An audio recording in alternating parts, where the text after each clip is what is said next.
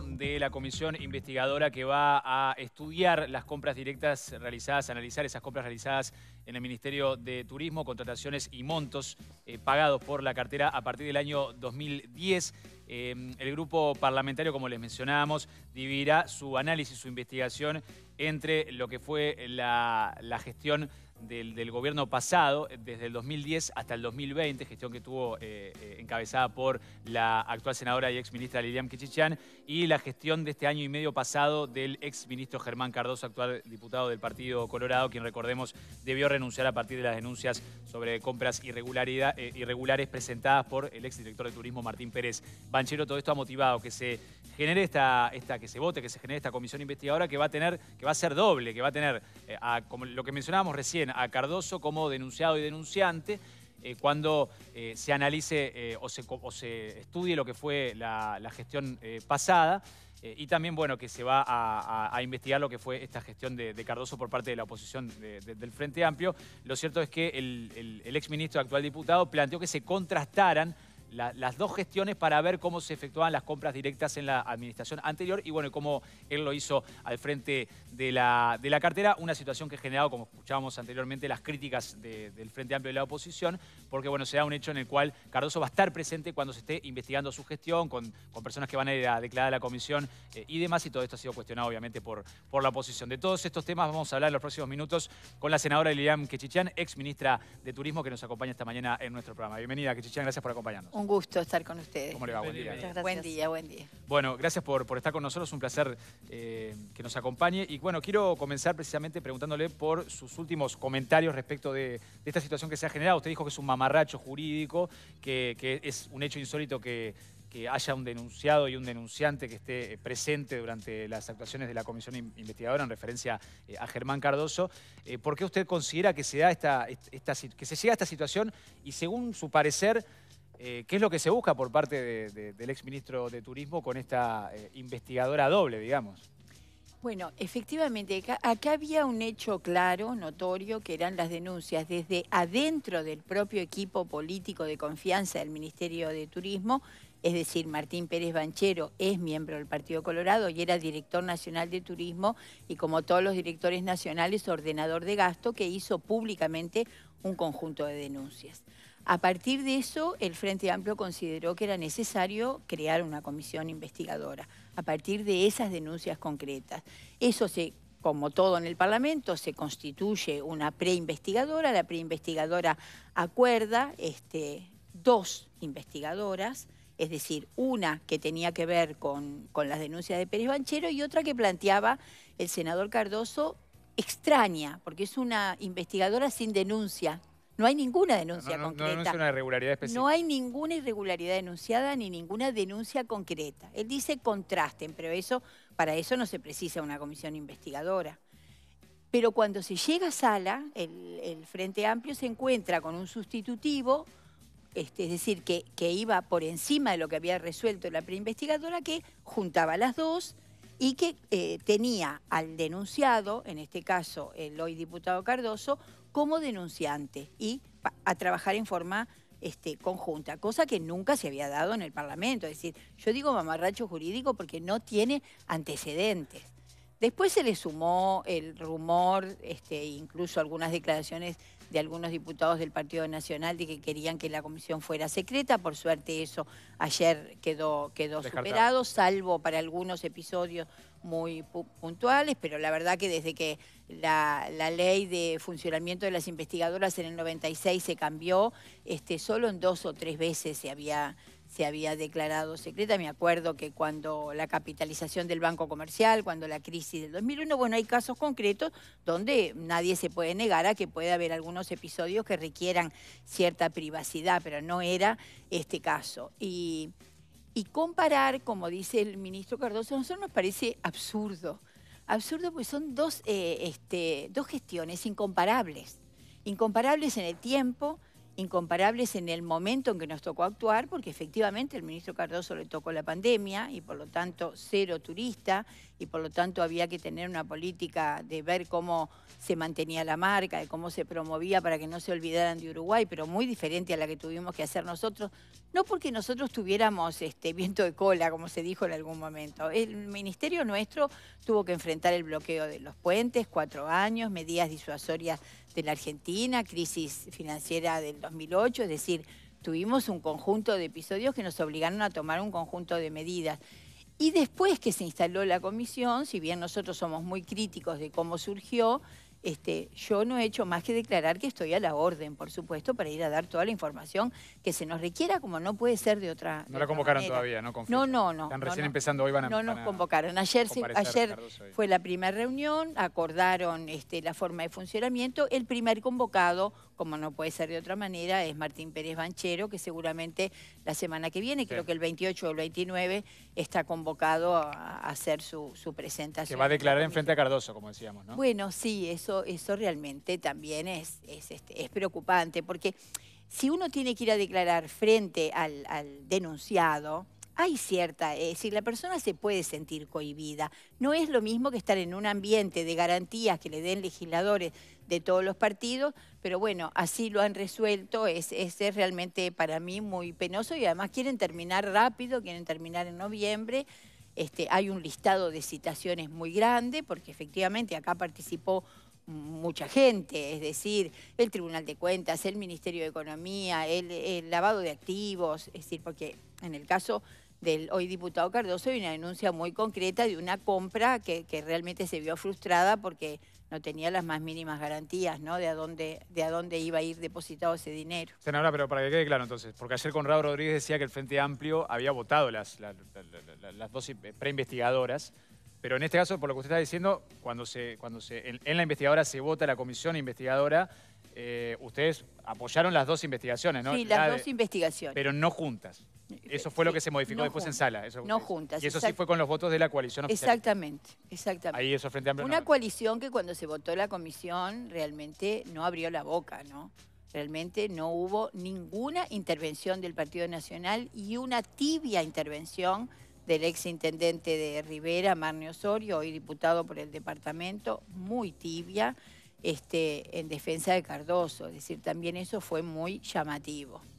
Bien. Usted, eh, hoy recordamos más temprano, eh, cuando se hace el cambio de gobierno y la transición, que usted obviamente participa y se reúne con Cardoso y demás, eh, tenía una relación cordial, ¿no? Una, buena relación, pero después usted también, antes de estos episodios, había sido muy crítica con las políticas este, aplicadas en, el ministerio. Recuerdo con el tema del episodio de la marca Uruguay Natural y, otros, y otras cuestiones. ¿Usted diría que, su vínculo con, Cardoso se deterioró? Que, usted, usted es muy crítica con cómo se ha llevado adelante el ministerio en este tiempo. Pero todo tiene un origen, es decir nosotros este, nos sentimos que fuimos construyendo, no el Frente Amplio, no solo el Frente Amplio, esto lo vuelvo a reafirmar hoy aquí, una política de Estado en turismo que tiene 20, 25 años. Nosotros hablamos del ministro Villar, el ministro post-dictadura, que incluso fue el primero que se animó a soñar con que Uruguay podía tener 3 millones de turistas, y cuando el Uruguay llegó a los 3 millones de turistas, nuestro gobierno, el presidente Mujica, en su momento el ministro Lescano y yo como subsecretaria, lo invitamos a que estuviera con nosotros recibiendo ese, ese turista de 3 millones, porque de verdad incluso el ministerio de Pedro Bordaberry. Yo lo he dicho siempre, ustedes me han escuchado. Nosotros tuvimos, yo era directora de turismo, una, una, relación muy correcta y nosotros continuamos muchas cosas que venían, de, e, entre ellas la marca Uruguay, Uruguay Natural. Lo que sucedió a partir del primero de marzo del 2020 es que se cambió radicalmente esa forma de actuar. Es decir. Pero hubo un comienzo en el cual usted em, eh, hizo declaraciones y, junto con Cardoso incluso creo y fueron a una gira en España juntos. Bueno, eso pero fue antes de asumir. antes de asumir. Este, Leonardo, antes de asumir nosotros tanto considerábamos política de Estado que como en enero había para nosotros la feria más importante del mundo para Uruguay en Europa, que es la FITUR en España, le dijimos que nos parecía que era un poco este, ridículo esperar un año para conocer esa feria y que nosotros lo invitábamos que nos acompañara. Él fue con nosotros, nosotros le presentamos a todos los ministros de la región, lo presentamos en la OMT, porque de verdad, miren, los digo muy sinceramente, yo estoy convencida que un país chiquito como el Uruguay no puede cada cinco años empezar con todo. Capaz que hay algunos temas, y ustedes me dicen la política económica, miren, seguramente no nos vamos a poner de acuerdo porque hay dos miradas de país muy distintas, pero en el turismo lo dije, lo digo y lo seguiré diciendo, es posible construir una política de Estado. ¿Qué es lo que pasó? Empezamos bien, empezamos de esa manera. Nosotros invitamos, ellos aceptaron, fuimos juntos, una buena imagen de Uruguay. Uruguay ha mantenido ¿eh? en el exterior siempre esa imagen. Nosotros en estos 15 años de nuestros gobiernos fuimos acompañados de todos los intendentes, de todos los partidos, obviamente el sector privado, que es plural en, su, en sus concepciones políticas, y, y hemos sido siempre uno, Uruguay. Eso para mí está más que claro y para los que trabajaron con nosotros también. El problema es que el primero de marzo del 2020, es decir, el 13 te diría yo, cuando se eh, declara la pandemia, yo lo llamo al ministro y me puse a las órdenes, porque yo me puse en su lugar para el turismo, que se cerraran las fronteras, que no hubiera libre circulación de las personas y que no hubiera presencialidad, las tres cosas claves para que el turismo se desarrolle, una cosa dramática y la vida nos ha demostrado que es un sector golpeado de una manera este, increíble. Y ahí, ¿qué nos quedaba? Nos quedaba el turismo interno, nos quedaba capacitar a la gente en seguridad sanitaria, nos quedaban una cantidad de cosas que el ministerio tenía como fortalezas. ¿Y, qué pasó que dejó como fortalezas. Y eso eh, hubo una clara decisión del ministro Cardoso de borrar todo lo que venía. Dijo que ha destruido, que se dedicó a destruir políticas anteriores. Sí, lo digo y lo sostengo. ¿Qué fue lo que concretamente lo que cambió? Por ejemplo, el corredor de los pájaros pintados, que era, nosotros habíamos hecho un plan estratégico, un plan estratégico al 2030, que no era el plan estratégico del Frente Amplio, era el plan estratégico del sector turismo. Lo hicimos con 800 personas, de toda la cadena de valor del turismo, se obvió, no se miró y se empezó a hablar de otra estrategia 2024, que todavía no conocemos. Y dentro de esa estrategia que nosotros teníamos, la regionalización, la descentralización y la creación de nuevos productos había sido un objetivo exitoso. Pero exitoso solo por nosotros no. Exitoso porque, por ejemplo, esas cinco intendencias del litoral de distinto signo político que habían sabido trabajar juntas, habían construido nuevos productos, ruta de sabores, turismo náutico, pueblitos con encanto, San Javier, Nuevo Berlín, Belén, este, una cantidad de nuevos productos complementarios de las termas, que sí seguían siendo el corazón del turismo en esa región, eh, lo, lo, tiraron abajo. Es decir, echaron a toda la gente que estaba al frente de ese proyecto que no eran cargos políticos, eran magísters en turismo, eran gente preparada.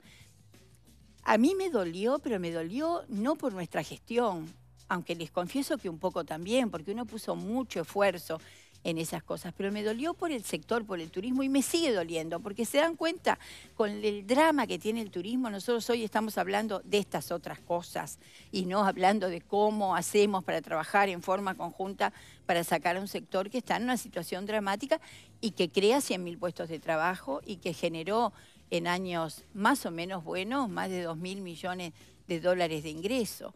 Este, eso es lo que, lo que yo sostengo, pero no lo, no lo sabía de antes. Yo pensé que, que así como el Uruguay tuvo fortalezas, y tampoco han sido muy reconocidas, pero eh, es para todo el mundo es evidente que hubiera sido muy difícil enfrentar la pandemia con los hospitales del 2004, es decir, que hubiera un sistema nacional integrado, que hubiera conectividad. Miren, nosotros hablamos mucho con parlamentarios de toda América Latina y por ejemplo los mexicanos, los brasileños, cuando nosotros le decimos, miren, nosotros teníamos mapeada la vulnerabilidad y la pobreza y supimos el 13 de diciembre a dónde ir exactamente a ayudar. No pueden creerlo. Bueno, esas fortalezas que el Uruguay como tal tenía, este, también las tenía el turismo y no fueron, no fueron este, aprovechadas y a mí me parece que es un pecado capital. Eh, espero que el nuevo ministro, que tiene un talante con el que yo me he llevado siempre una relación muy correcta en el Parlamento. ¿Se ha ya con no, no, él anunció, él anunció que se iba que se iba a reunir con los exministros. Todavía no nos ha convocado. Yo sigo estando a las órdenes porque de verdad los que los que hemos trabajado en la actividad turística este, amamos este, esa actividad y sabemos eh, la, la, la, la, actividad económica de primer nivel que es para el Uruguay y hoy en la pospandemia mucho más. El subsecretario, el subsecretario Monseglio, porque es una persona del turismo con la cual seguramente usted tenía contacto cuando como ministra, ¿no? No, no, no. No, no, actúa en ese tiempo. No, él ha trabajado también para esta política de borrar todo, todo, todo el pasado. No ha ayudado. Yo pensé que de verdad, justamente por su conocimiento, podía haber contribuido. No, les diría que, que al contrario. Bueno, Monseglio cuestionó mucho a Pérez Banchero también cuando se dio todo el episodio inicial. Sí, eso también es un poco extraño, ¿no? Realmente. Sí, hizo una defensa muy fuerte del ministro Cardoso y hizo un ataque muy fuerte de Pérez Banchero. Y yo supongo que en la comisión, cuando se lo convoque, esas cosas, esas preguntas se le, se le harán también a Monseglio. Eh, de, las denuncias que hizo Pérez Banchero a través de los, medios de comunicación, usted que conoce el funcionamiento del Ministerio por dentro, ¿cuáles son las que más le llaman la atención? No, bueno, sin duda la de Kirma eh, me llama la atención y algunas contrataciones en la vía pública por montos, no por lo directo, porque acá, digamos, este, se ha querido eh, cambiar el eje o tener una maniobra distractiva diciendo contratación directa o indirecta. En el Ministerio de Turismo hay contrataciones directas y yo he puesto cien mil veces el mismo ejemplo y lo vuelvo a poner. Si yo quiero publicar en la revista de a bordo de Iberia o de Air Europa porque esas líneas empezaban a venir al Uruguay de una manera diferente, yo no voy a hacer una licitación, yo quiero publicar en la revista de a bordo de Air Europa. El, tema es el monto, es la cantidad, no, no Igual hay una regulación sobre eso. Por supuesto que el TOCAF, permite las contrataciones directas. Si en el caso de la vía pública hay muchas empresas que tienen exclusividad mm. en algunas zonas. Por ejemplo, si uno quería contratar, como nosotros lo hacíamos en Porto Alegre, siempre asesorados por la agencia de publicidad y siempre asesorados por nuestra diplomacia. Si nosotros hablábamos con el consulado y junto con el consulado salíamos a ver cuáles eran, porque eran los que más conocían el territorio, nosotros le decíamos, nosotros queremos llegar al público de este shopping de Porto Alegre.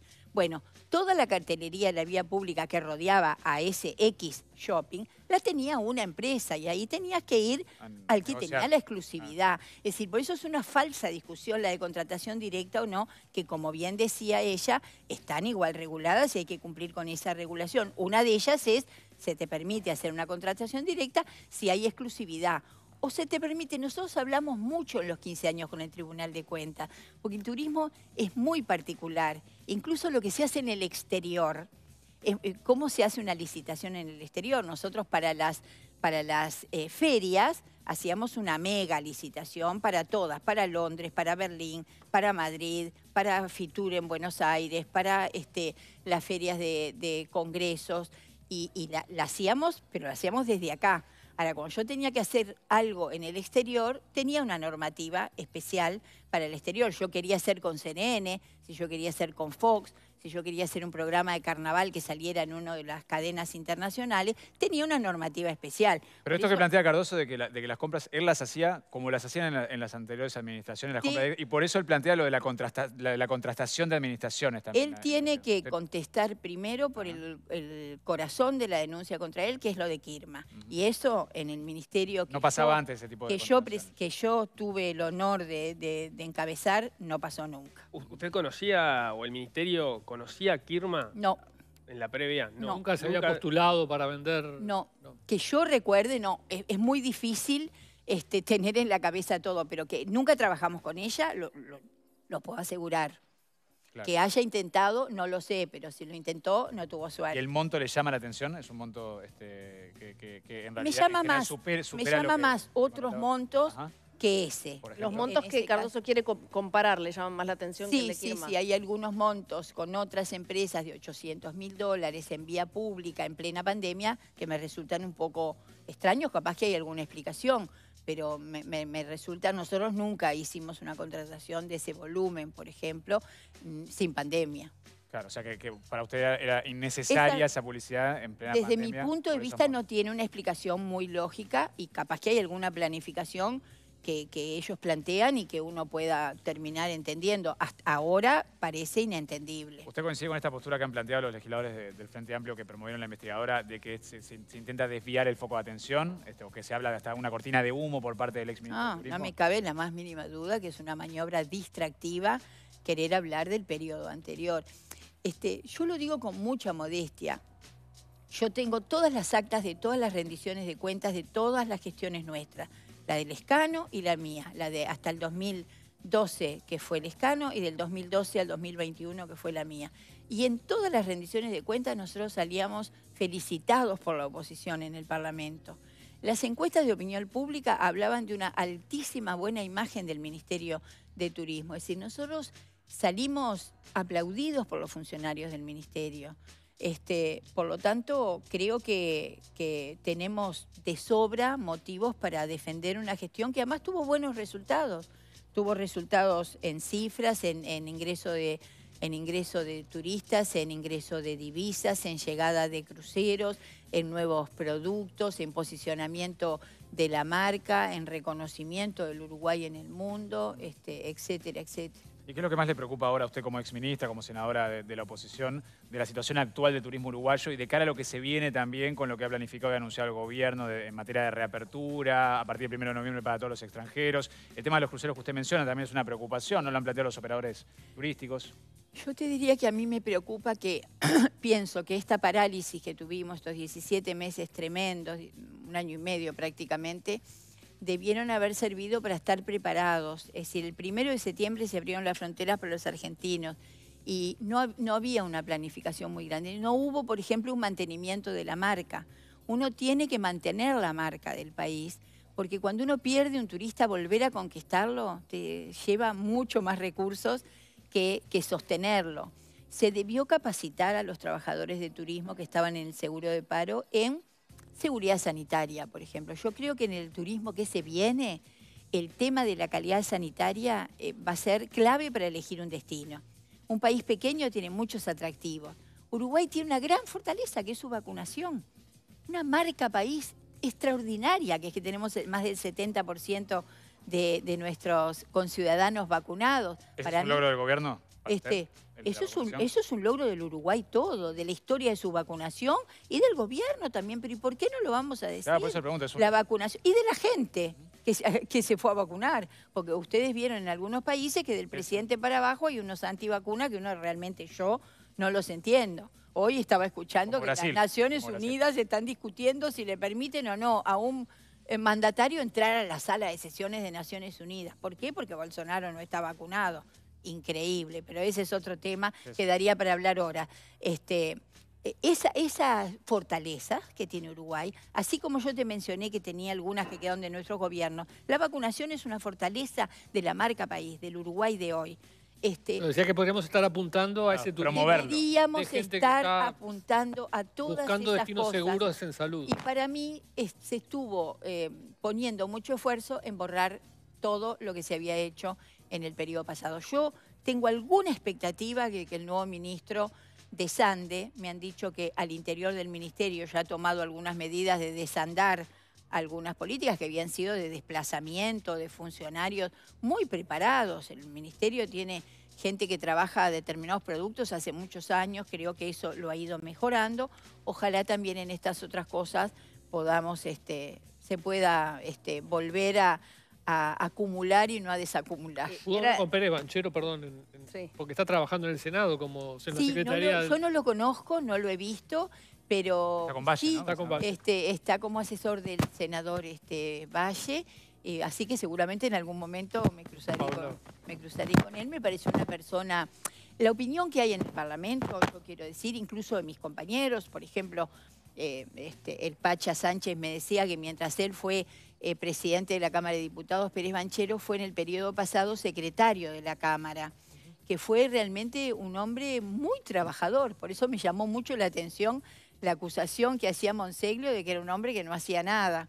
Este, hay una buena opinión de Pérez Banchero en el Parlamento, ¿eh? de todos los partidos.